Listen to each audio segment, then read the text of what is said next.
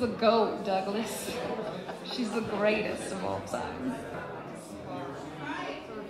Sound good out there? How's it sound? Is it, is it okay?